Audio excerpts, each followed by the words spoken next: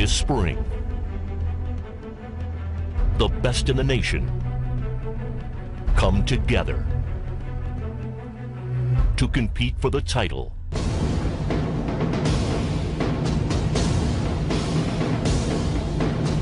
The 2014 U.S. Championships. The 2014 U.S. Championship and U.S. Women's Championship being played at the Chess Club and Scholastic Center of St. Louis. Hi, folks. John Cordisco back again. Wow, wow, wow. What an incredible game. The U.S. Women's Championship 2014.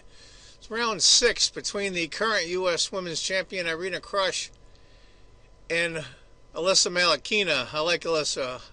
Oddly enough, I've met both of them before and both got their autographs. Irina I've met a couple times, talked to briefly, and Alyssa I met at the World Open in 2010.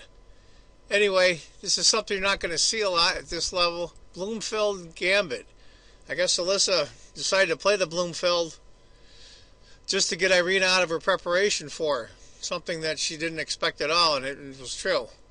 We'll go through the first few moves here. The opening, it's really wild. You see it take with the F pawn to avoid the queen trade. If you take with this, queen takes, and it's a little tougher for black. F takes, C, D5. It leaves black with a huge center. She sacrifices a pawn, of course, but those center pawns are tough. Knight to C3, bishop, e4, going right after the pawns immediately. And then d4. If black had taken, after queen takes check, king takes, not very good for black. According to the computer, it's a point and two-thirds advantage for white. After d4, e5, Knight moves over to protect. Knight to a4. This is an opening I'm not familiar with at all. I don't think I've ever, I've probably seen it, I just don't recall. So I'm just as much as the dark as a lot of you are. A6, B takes. Interesting might have been B6 instead. But she took knight takes. What a weird pawn position. And here we are on move 11, and neither black or white's even close to castling yet. Bishop c4, there goes the last minor piece on the king side for white. And knight c7, she brings the knight around again. Now it shows a tiny advantage for black, but it must be the C and D pawns coming down that are giving it the advantage. B3 by Irina and Bishop B7 by Alyssa. Bishop B4, just reinforcing that pawn. I mean, it's the only center pawn white has, and it's on the fifth rank. It's kind of clogging up black a little bit here, controls these two key squares here. Black finally castles Bishop G3. She comes back. Now that also shows that move on the computer as well. Of course, we all know, of course, why, because after you castle, this bishop's in prey. So bishop and rook to f5. Now that move I really didn't expect. Computer calls for bishop to c6, hitting the knight, or bishop takes f3.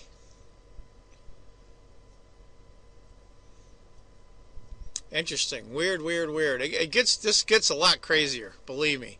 Rook to f5, bishop e2, knight d5. That knight's in a really, really good spot. I mean, there's no white pawns on either side to challenge it. That's a strong knight right there. Rook to c1. Computer has suggested if bishop to d3 instead hitting the rook after rook moves, castle, knight f4, bishop takes, and rook takes, with a tiny minute advantage for black. We'll call it even. After rook to c1, Alyssa goes knight to f4. Now, that's the third choice in the computer, and all the scores are close. I like the first suggestion in the computer because I really don't want to give up that knight. And for White's crummy bishop, too, on g3.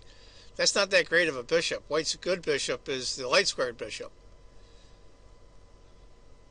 She had gone queen to e5 check. Queen, knight, then knight to f4. Bishop takes, rook takes. Rook, queen takes, rook takes. With a fairly decent advantage over a point for black. She chose not to go down. I think she mixed up the move order, frankly. Now this is a fairly crazy position as it stands, and it's going to get a lot crazier real quick here. Bishop takes, rook takes, white castles, g5. Now, g5 I'm not too sure on. I think she was pushing too hard. I think she thought she was winning. It shows you with a half point advantage, but it's, it's a little bit more comfortable to play black, that's for certain. Computer goes for queen to f8. Or queen to e8. I like queen to f8 instead. She went g5. Knight comes back to e1. I think she just underestimated her position here. Uh, she tries queen to f8. I think it's it's too late for that now. Knight takes. Then after knight takes, bishop d5 little advantage for white, but I think that was better. Queen to f8, knight to d3. And this is another move I thought was very interesting as well. I mean, she's really going for it. Give you an idea, I mean, Anna Zatonskih and Irina Krush, who's playing white here, go back and forth over the years. The last nine years, they're the only two women that have won the U.S. Championship. And Alyssa's not having that great of a tournament, and I think she was just going for it, frankly. Bishop to d5 is the suggestion on the computer, queen to f5. I kind of like queen to f5 myself, it's a little more forceful. She goes rook to h4. She's just going all out. Figured I might as well go for it now. Now, I got to also to remember that Irina Krush's white was in serious time trouble. In fact, it got to a point they're on a 30 second increment per move. It got to a point where Irina actually had one second on her clock towards move 40. That's a little tight. and of course, when she pushed the clock and moved, she got an extra 30 seconds, which gave her 31, but that's a little tight. G3 is a suggestion for the computer. She goes bishop g4, which the computer really didn't care for very much. She had gone g3 after rook to h6 f4. And I think white sits okay. Truth be known. After bishop to g4, bishop d5. That's a good move. What to do, what to do. She played f4. The other suggestion was g3, which is about the same point value. f4 was the correct move. If she had gone g3, rook takes, pawn takes, rook takes, queen takes. Now, believe it or not, white is up in this scenario two exchanges and a pawn, and barely has the advantage. Two thirds of a pawn only, because of the tremendous pressure on white's king. After f4, queen to h6, good move there. h3, if she had gone f3 instead, rook takes, bishop takes, e takes. But a pretty even game, believe it or not, right there. Believe it or not. After h3, g takes. And I think this is where Irina stumbled again. The pressure was starting to get to her on her clock. Computer calls for bishop to f3 just to take away that, that really strong light squared bishop of black hitting her queen side. She went queen to e2, and immediately the advantage is slight advantage for black. White's under a lot of pressure right here. Give you an idea, if knight had taken instead, after knight takes, knight takes, e takes, bishop f3, small advantage, half a point for black, but I do like black a lot better. It's a lot easier to play. After queen to e2, bishop to g5. Now these guys are winging it. I don't think Alyssa Melekhina had much time trouble. But I know Irina Krush's White certainly did, and we're on move 25 now. Bishop f3. Computer shows it as dead even. 0.00. Now this is where I think Alyssa Melekhina is black. Went forward and maybe miscued. The computer calls for c4 for black which makes perfect sense. When rook takes a4, and immediately the advantage shot up for white.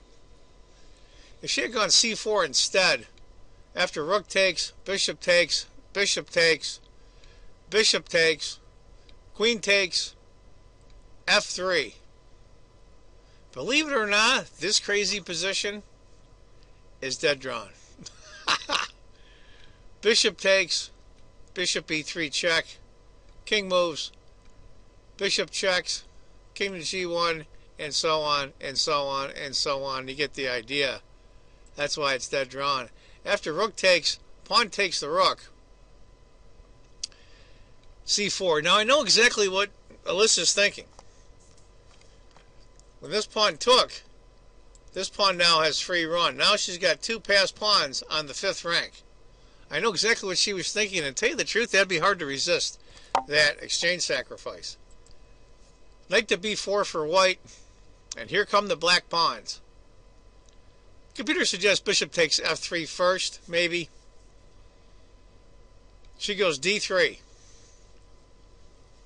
White is up the exchange, but she has over a two and a half point advantage for white. I sure as hell doesn't look like it. And we're on move 28, and I doubt if she's got two, three minutes left. Granted, you get a 30 second increment per move. Irina's in terrible time trouble. And this is where sometimes just showing the moves of the game doesn't really explain what was going on.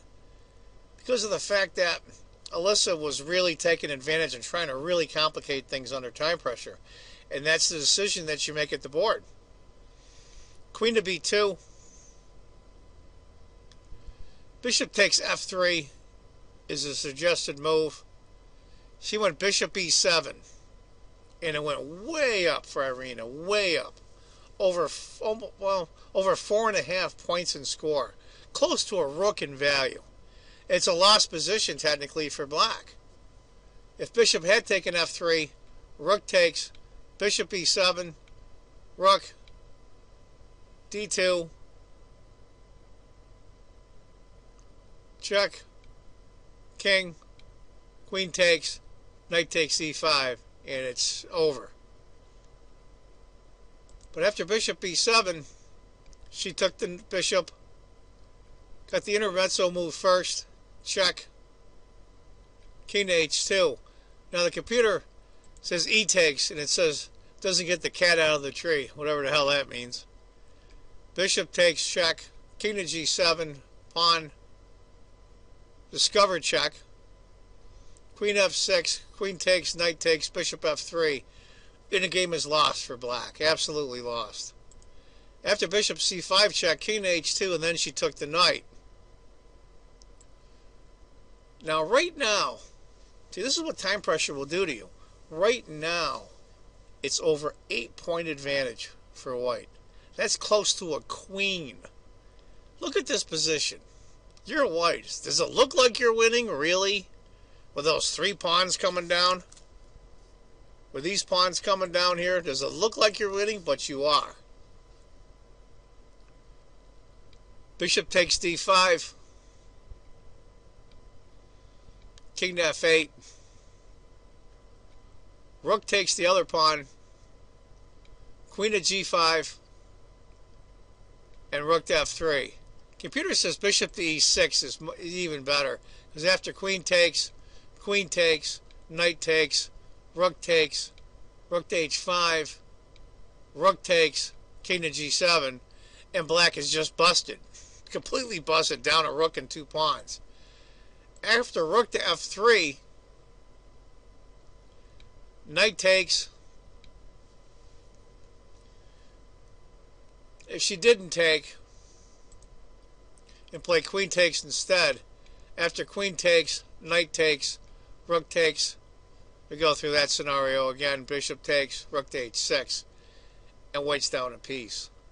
After knight takes c5, queen to b8 check. I think what's happening is she's trying to gain some time on the clock. She's down to seconds, literally, around move 35. Just an interesting side note. A couple of rounds prior to this, Melissa Melekhina, or I should say Alyssa Melekhina, excuse me, is black, was in an interview, and she was talking about time pressure. And she said, when you're down on time, especially extremely, you're actually really down material, which I thought was an interesting statement. In fact, I've never heard it put that way before, but it's true. So right now, White's up by over nine points. But yet, because of the time problems, she's really almost losing. To e7 after the check. Rather than go through the whole ton of checks, we won't. Queen c7 check. King f6. Rook d8 check. Now, she's made those three checks right in a row to gain some time on the clock. She'll gain a minute and a half. Now, believe it or not, from this move, which is over almost 10 points, over 10 points now with the computer and score, and after king to f6 and queen to d8 check, she should have played queen takes c5. But she thought there was a mating net. Queen f8 check, king, check, knight, rook, queen takes, rook takes, rook takes, bishop g8. It's overwhelming. Black loses. But after queen to d8, believe it or not, she's up the exchange hand a pawn for white, and she's only up two points in score. This is where she messes up just prior to the time control.